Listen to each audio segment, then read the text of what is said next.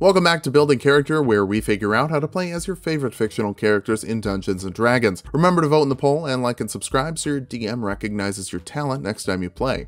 Maybe. Today we're building Quentin Beck, but you may know him better as Mysterio, the hero from another dimension and the only one who can save the world from the elementals. If I'm being honest, I'm writing this script while I'm watching Far From Home for the first time. Hopefully things don't change too much by the end. Oh, well, there never was there ever a villain so clever as the magical Mr. Mysterio. Let's start off with our goals for this build. First, we need to do some magical tricks. Sorry, illusions. Tricks are for kids, and you want to kill those kids. Next, we'll get a drone to do some of our dirty work for us. No sense in getting into the fray if we don't have to. Finally, we'll make sure that we always have a backup plan, whether that's escaping or pure delicious spite. For stats, we'll be using the standard pointer array from the player's handbook. Roll for stats if you want, just make sure your intelligence is high. Intelligence will be number one. You're a VFX artist by trade, that's a lot of computers and a lot of rendering time, but this is a fantasy world, just clickety clack and things will work. Charisma after that, dishonesty requires deception because they're synonyms and most things require themselves. Dexterity next, you've got a knack for sleight of hand, partially because you can make it look like your hand is somewhere else. Follow that up with Constitution. Spider Man eventually finds you, punches you, and you don't die. That's grit. Wisdom is a bit low, we just need other things more, and you're not particularly perceptive, but we'll dump strength. You're a nerd hiding in the corner from a teenager that is also a nerd. Now that's what I call cowardice. Mysterio is a human, but changelings get to shapeshift, I could see that being useful for you. Variant humans can be almost as tricksy if they take the actor feat, giving you a plus one to your charisma, you have advantage on deception and performance checks to pretend to be someone else, and can copy other creatures' speech or sounds after studying them for a minute. People can make an insight check against your deception check to determine if you're faking it, I'm pretty sure that's how it would work anyway. The charisma bump is nice, and the advantage could help you convince a grieving teen that you're his dead uncle. Illusion casters are me.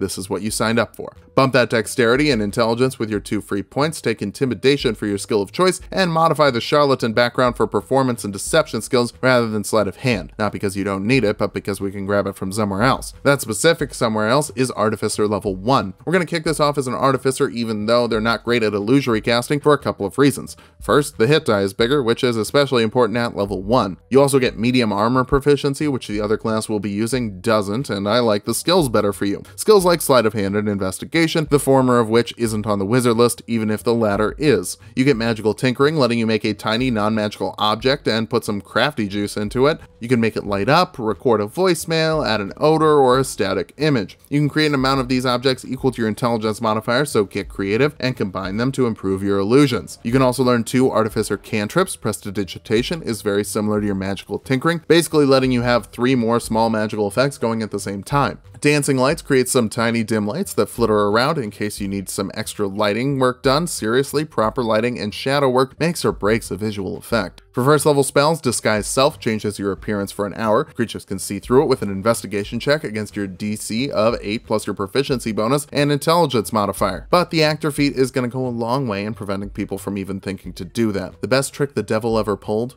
was convincing the world that he was Jake Gyllenhaal. Featherfall reduces falling damage for up to 5 falling creatures as a reaction. You don't have to share it if you don't want to though. Falling is bad, keep yourself safe. Second level artificers learn 4 infusions, special magical things you can do to some items to make them a little more useful, though you can only have 2 up per day, swapping them out on long rests as you like. Goggles of Night give a creature 60 feet of dark vision, so you can now work at night. Light shows tend to work better when the sun is down. Enhanced armor is useful for pretty much anyone, giving you a plus one to your AC in the armor of your choice. I'd recommend a breastplate. It's the thickest medium armor you can have that doesn't impose disadvantage on your stealth checks, so that would be 17 AC at the moment. Not bad. And you wouldn't give away your position with a bunch of clanging metal. Those are the infusions I would recommend you bring with you, but Enhanced Arcane Focus would add one to spell attack rolls, not something you do all that often. Even later in the build, it'll mostly be saving throws. Spoilers, I guess. For your last infusion, I don't know, Repeating Shot gives a ranged weapon plus one to attack and damage rolls, and makes it magical in terms of overcoming resistances, and removes the loading property. Worst comes to worst,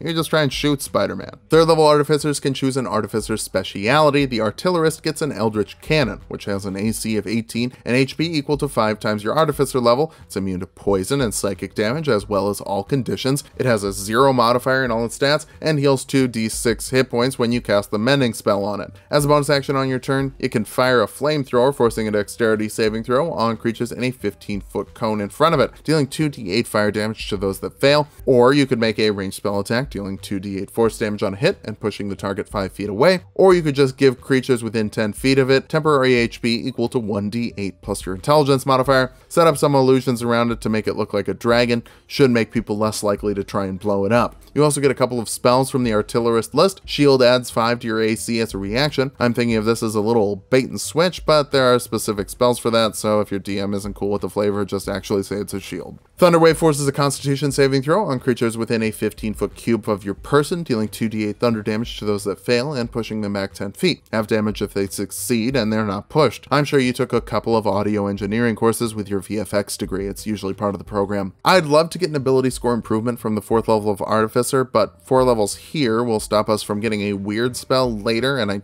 don't want to name it, so you're gonna have to guess. First level wizards get three cantrips. Minor Illusion gives this illusionist an illusion spell. Wow, what an idea. The illusory image has to fit in a 5 foot cube, but you could also use it to make some noise that can be as loud as a scream. Really helps sell the illusion when it's making sound, though you can only have one of these up at the same time for now. To get better lighting, the light spell creates 10 feet of bright light for an hour, and if you need a little pyrotechnics to sell the thing, how about Firebolt? It's a ranged spell attack that deals 1d10 fire damage. For spells, Silent Image creates an illusion that fits into a 15 foot cube and doesn't make any noise or have any smell. But your magical tinkering and minor illusion can take care of that. Like all illusions, it can be seen through with an investigation check against your spell save, so it'll be better when we get that intelligence a little higher. Expeditious Retreat is helpful if you're a coward, letting you dash as a bonus action up to 10 minutes, depending on your concentration if you need to run away. Unseen Servant is a fun little spell that creates an invisible creature to run errands for you for an hour. It can move around and do anything a person with 2 strength could other than attack. It goes away if it takes any damage or if it gets more than 60 feet away from you. One of the specific commands listed by the player's handbook is setting fires, which could really add some realism to the illusory fire you've conjured. Practical effects always work better. Illusory Script lets you write a message that only creatures you choose can read, or you can make it read like two different things to two different people with a real and fake message. It's a great spell for gaslighting. Now, technically, wizards can have six first level spells in their spellbook at the first level and add two more every level they get, but this video is already going to be long, so like the Sypha video, we'll be talking about the number of spells you can have prepared from your spellbook, and you get to pick anything else you want at home, which you should do anyway. You can also recover spell slots on a short rest with Arcane Recovery of total spell level equal to half your wizard level. Obviously, you're just taking an hour to repair some of your illusion tech. Second level wizards pick a school, and a VFX degree is definitely the real world equivalent of School of Illusion. You get improved Minor Illusion, letting you make a sound and an image with one use of the Minor Illusion cantrip, kind of making it better than Silent Image, if you don't mind that it has to fit into a 5 foot cube. For this level spell, Charm Person forces a Wisdom saving throw on a creature. Failing that, they're charmed for an hour, no concentration required. You can charm Nick Fury. Kind of. Not really, but that's a spoiler. Anyway, it's pretty good. Third level wizards can learn second level spells. Mirror Image creates three illusory duplicates of yourself. When an enemy tries to attack you, roll a d20. If you've still got all three, a 6 or higher makes them hit the duplicate, destroying it, 8 or higher when you have 2, 11 or higher when you have 1. It lasts for a minute and doesn't require any concentration, so you could probably make another Mysterio with Silent Image as well. Fourth level wizards get an ability score improvement, finally. Investing your intelligence, maybe if we can get it capped, our boss will appreciate our ideas more. Probably not, but worth a try. For this level spell, Levitate lets you make your drone fly, making a creature or object you see float 20 feet in the air, and you can move it 20 feet as a bonus action on follow-up turns. Unfortunately, that's the same bonus action that you would use to make your turret fire, but get it into position, make it look like a tiny dragon with your minor illusion, and it could be great for some bamboozles. If you want to levitate a creature, they can make a constitution saving throw to resist, and keep in mind, creatures falling from heights made by levitate don't take fall damage, probably because they have armpit parachutes. It doesn't say that in the player's handbook, but that's clearly the implication. If you want to deal some damage with your illusions, Phantasmal Force creates an illusion a target believes is real if they fail an investigation check. If you make that illusion look like something that could attack, they take 1d6 psychic damage if they end their turn within 5 feet of it. Maybe there's a zombie of their uncle beating them to death with a tombstone. But I don't want to like put ideas in your head, you know, do your own thing. Fifth level wizards can learn third level spells. Fear forces a wisdom saving throw on creatures within a 30 foot cone emanating from your person. Failing that, they're frightened and they have to use their action to dash away from you until they can make a wisdom save when you're out of their line of sight. It makes them see whatever their worst fear is. I'm not totally sure how imposter syndrome could manifest into a 30 foot cone, but you can bet your ass I'd be sprinting away from it. You're only liking this video because I asked you to. Oh god, I'm spiraling. That's what I get for dumping wisdom, and strength, and dexterity, and charisma, and constitution. Sixth level wizards get malleable illusions, letting you reshape an illusion that lasts for a minute or more as an action, which should save you some spell slots. For this level spell, Major Image creates an illusion that fits in a 20 foot cube, complete with sounds, smells, and temperatures, so long as none of that would deal damage. You can move it around within the 120 foot range and even make it carry on a conversation, letting you get where you need to be to get that one shot off on Spider-Man. He's not bulletproof, he's just really fast. I believe in you. Seventh level wizards can learn fourth level spells. Phantasmal Killer creates an illusion illusory manifestation of a target's worst fears that forces a wisdom saving throw, frightening them if they fail. Additionally, they take 4d10 psychic damage every turn they fail a wisdom saving throw, while MJ breaking up with them because they went to different colleges attacks them. I am assuming that's one of Spider-Man's biggest fears. 8th level wizards can grab an ability score improvement, cap off your intelligence modifier for the most convincing illusions possible. For this level spell, Confusion forces a wisdom saving throw on creatures in a 10 foot sphere. Failing that, their actions are not their own. Instead, they roll a d10 if they roll a 1, they move in a random direction and don't take an action. On a 2 to 6, they do nothing, no moving or actions. On a 7 through 8, they make a melee attack against a creature within reach, and on a 9 or 10, they get to act normally. They can re-roll the saving throw at the end of each of their turns, but with all the wacky shenanigans you're throwing around them, it could be difficult. For a little more mobility, Fly from the third level gives a creature you touch a flying speed of 60 feet for a minute for up to 10 minutes, depending on your concentration. Maybe this is you getting a lift from a drone, lord knows you can't actually fly. Ninth level wizards can learn 5th level spells. Mislead turns you invisible and summons an illusory copy of yourself with double the movement speed. You can swap senses with it as a bonus action and make it do whatever you want really. It lasts for an hour depending on your concentration, but but ends early if you cast a spell or make an attack. There's no range limit, so by the end of the spell, you could be 3 miles away without even having to dash. They can't hurt you if they can't find you. 10th level wizards get illusory self, meaning that once per short rest, you can make an attack miss you as a reaction by summoning a second Jake Gyllenhaal. That really is the dream. Who doesn't want to be up to their gills in Jakey Jills? For this level spell, animate objects will give you more of a fleet vibe for your drones, summoning 10 objects of small or lower, with the ability to use larger objects if you use less of them total. There's a whole lot of pieces to this one in the player's handbook, just check it out. Explaining the whole thing would make the video too long,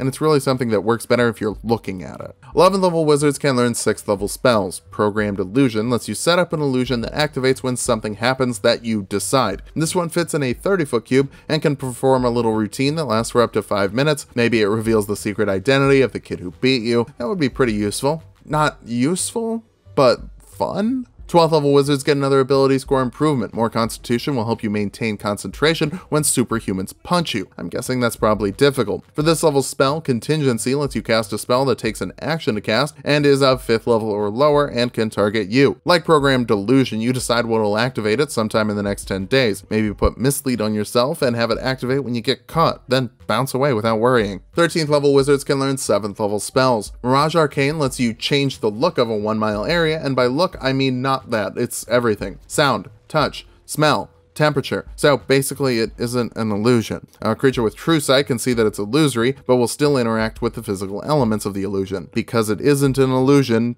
because there are physical elements. You can also use this to create difficult terrain because it's real. It's a really strong illusion spell even though it's not illusion. 14th level illusion wizards get illusory reality, letting you use a bonus action while an illusion is up to make a non-magical, non-living part of the illusion real. It remains real for a minute, so if you need a bridge, you got a bridge. If you need a wall, you got a wall. Get creative. Player creativity is instrumental for an illusion caster. For this level spell, Project Image lets you create a visage of yourself within 500 miles. It can move twice as fast as you normally would, and you can see through its senses as well. The range on this is absolutely insane, meaning that you could cast it in Cleveland and have the illusion appear in New York City. Obviously, cheap vacation is the main use for this spell. 15th level wizards can learn 8th level spells. The Maze spell automatically sends a creature to a labyrinthian demiplane that they can't escape from until they make a DC 20 intelligence check. Goristro demons and minotaurs actually make this check automatically, so don't try it on like a cow version of Thor. Boy, wouldn't that be wild if there was a cow Thor?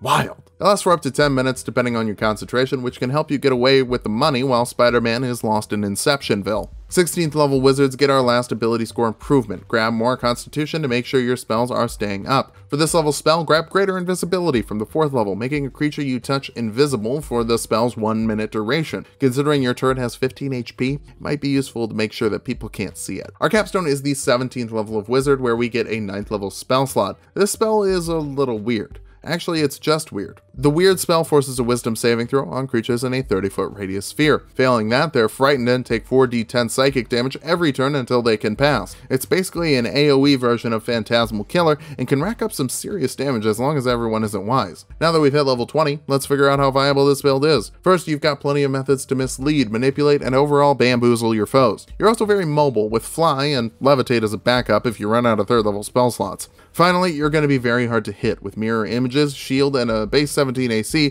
thanks to your enhanced armor, making you very tricky.